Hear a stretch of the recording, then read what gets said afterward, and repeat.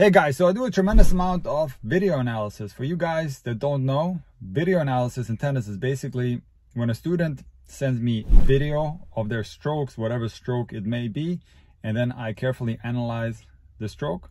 I send them back a video and then they try to improve that stroke. And this is a really, really effective way of coaching someone. This is somewhat of a modern way of coaching that didn't exist uh, back in the day so much because now everybody's got easy access to camera, slow motion footage, and so on.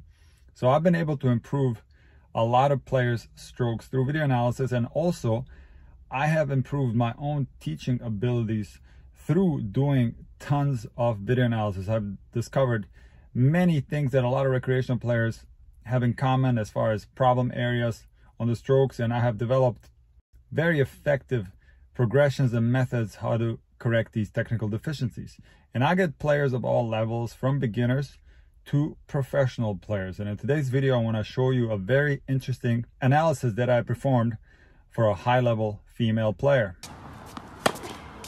So I've made several videos about the WTA forehand and basically what people refer to when they say WTA forehand, they talk about the backswing and the fact that the racket goes on the opposite side of the body. Take a look at an ATP forehand, the racket will stay on the hitting side of the body. Many coaches are worried about this. They see this as a technical deficiency.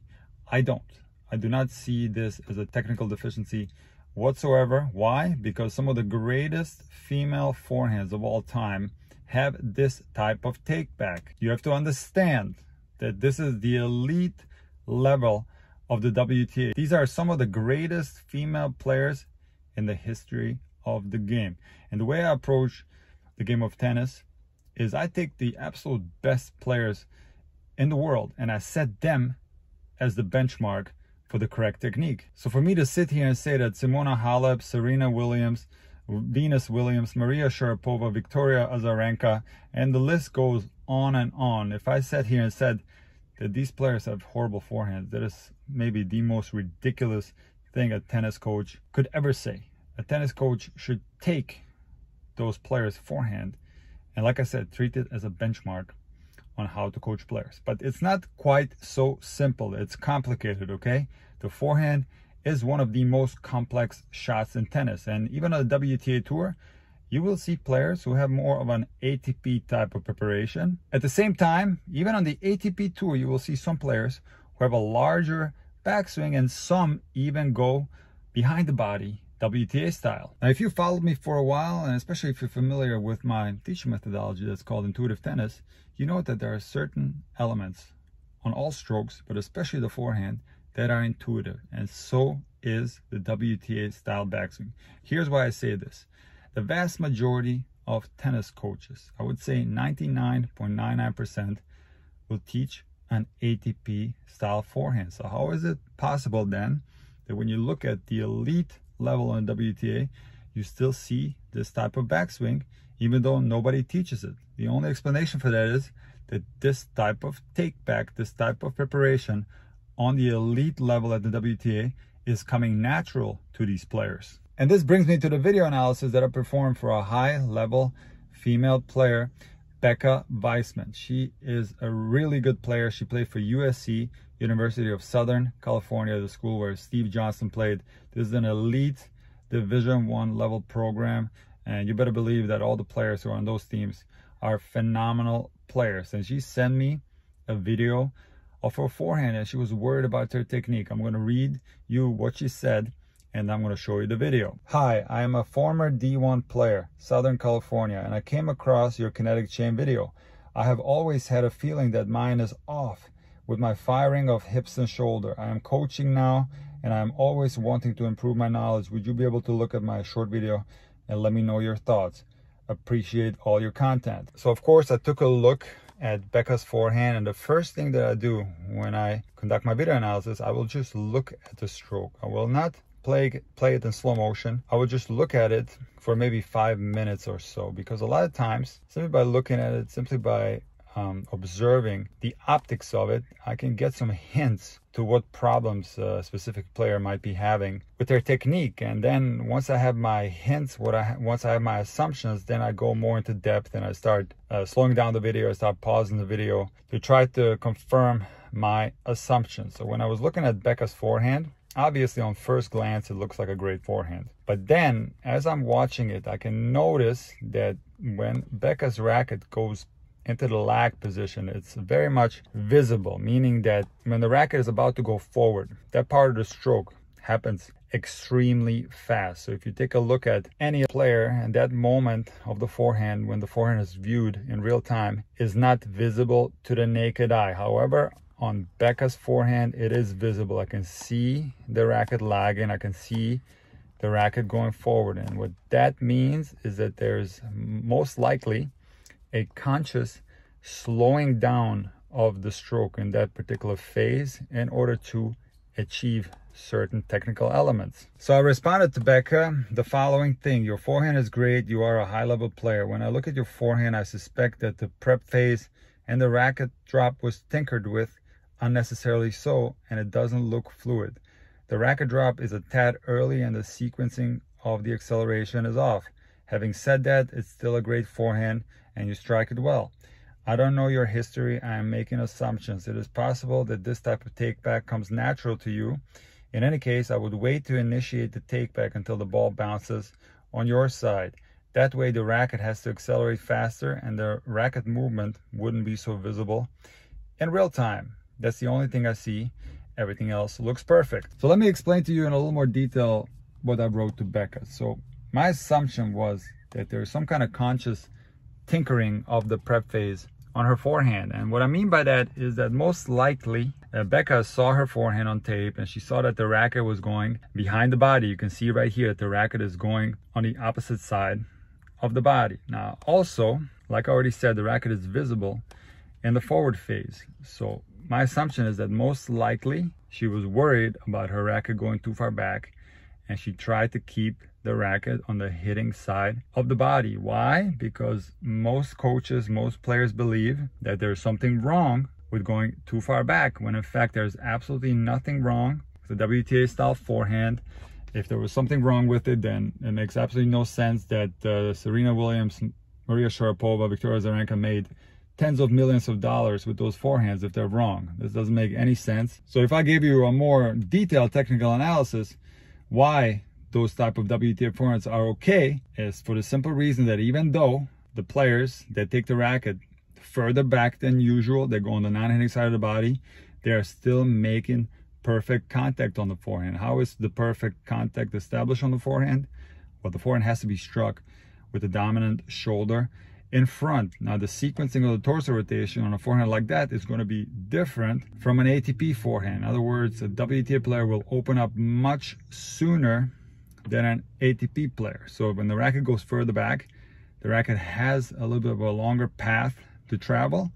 So that means a WTA player with that style will open up sooner and the contact would be established at the correct place uh, with a dominant shoulder in front. So obviously Becca has proper contact on her forehand because she's a high level player. You cannot play at the high level. You cannot play for USC if you can't make proper contact on the forehand. It's just absolutely impossible. So her sequencing of the torso rotation is correct. The place where she makes contact is absolutely correct. However, the forehand didn't look perfect to me because again, I thought there was some con conscious adjustments in the take back phase and the racket was slowing down. So in other words, her forehand could accelerate much faster. Her forehand could be more fluid. And overall, it would feel better for her and it would grow her confidence even more. And one thing that you have to understand about the forehand stroke is that the earlier you initiate the take back phase, the more hitches you will develop and the more the racket will have to slow down. Because if you want your forehand stroke to be continuous, you have to wait. At the high level, players wait until the ball bounces on their side to initiate the stroke. That's how they achieve a continuous fluid stroke, and that's also how they achieve maximum acceleration.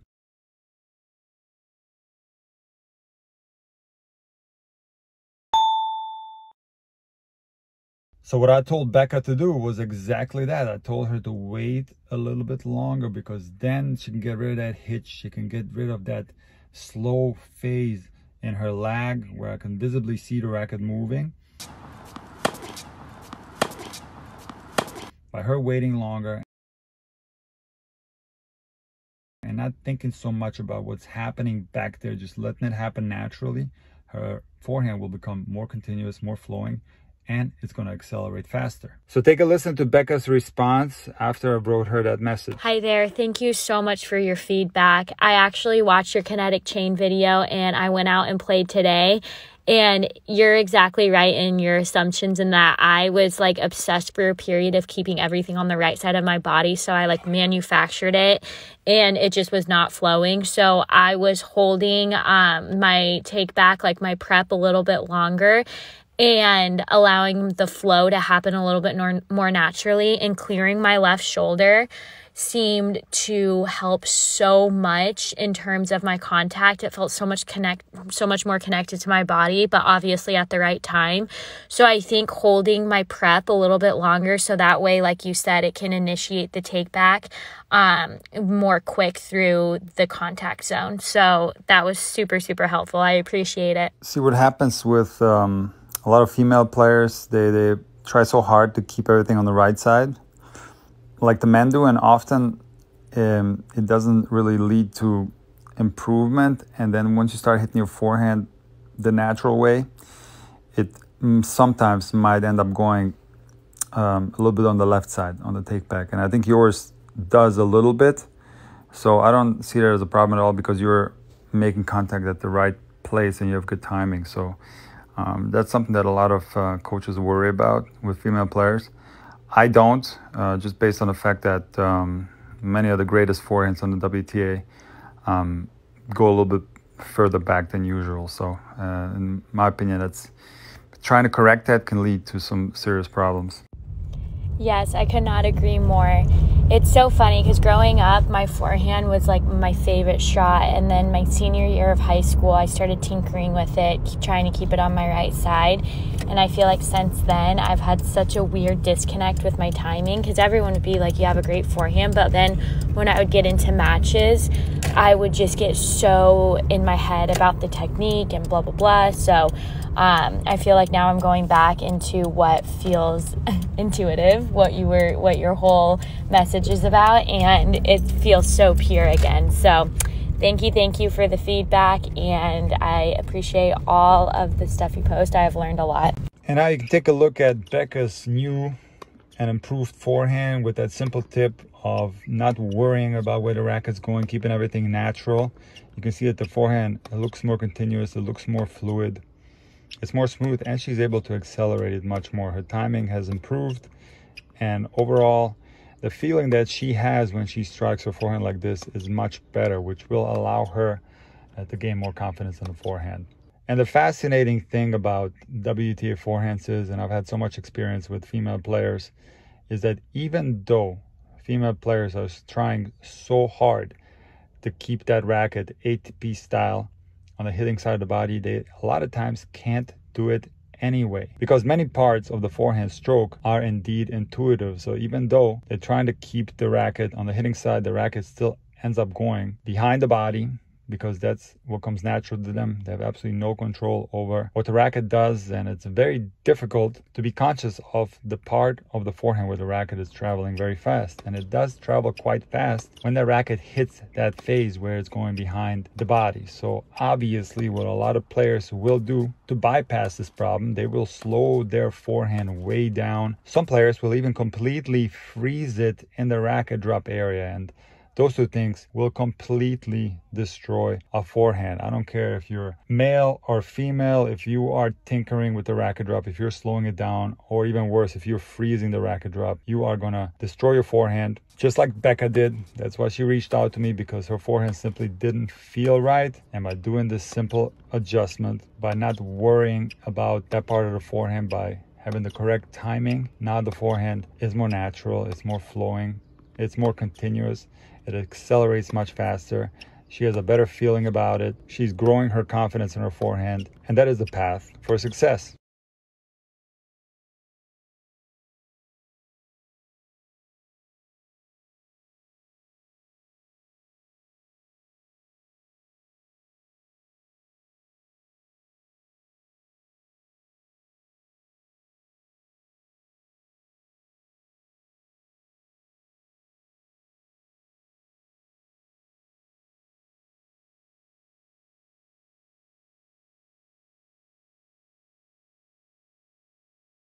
So what can you take out of my analysis for Becca?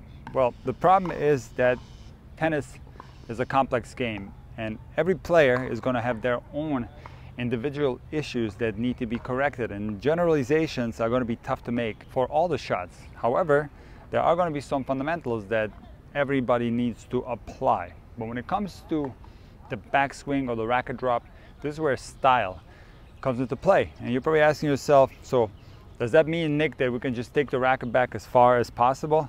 And no, it doesn't necessarily mean that. There is such a thing as making a late contact because of a preparation that's too large. That is absolutely something that is a problem. But it is a complex answer to that problem because it depends on many factors. So if indeed someone has a take back that's occurring on the hitting side of the body and all of a sudden that player would start taking the racket further back, yes, uh, that type of player will make late contact on pretty much all the forehands because they don't have the right muscle memory for this type of take back and also most importantly they don't have the right sequencing of the torso rotation when the racket goes further back. So let me explain that in a little more detail. So if somebody has an ATP style preparation where the racket is dropping on the hitting side, in this particular setup the waiting phase on the forehand can be much longer. In other words, the player can wait to initiate the torso rotation until the racket is on the bottom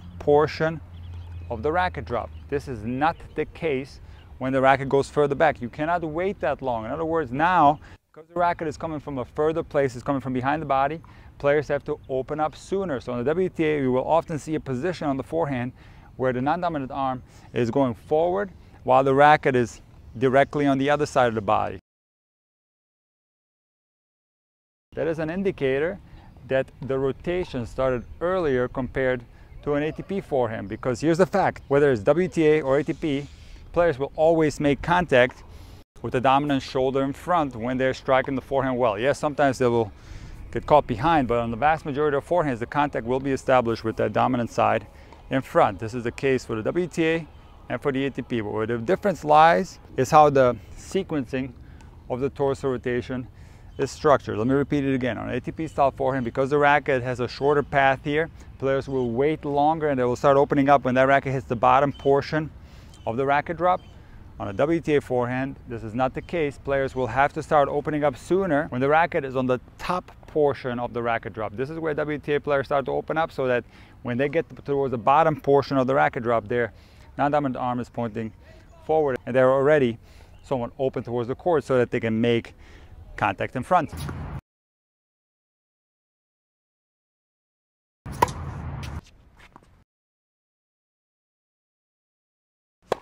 So you're probably wondering, Nick, how in the heck do you learn this stuff? This sounds so complicated.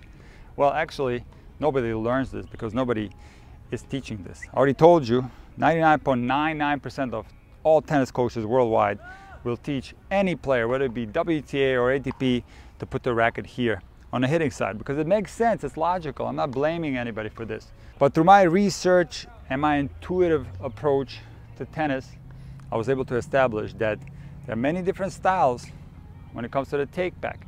And there's no right or wrong if fundamentals are present. The things that are important on the forehand is not necessarily how far back the racket will go.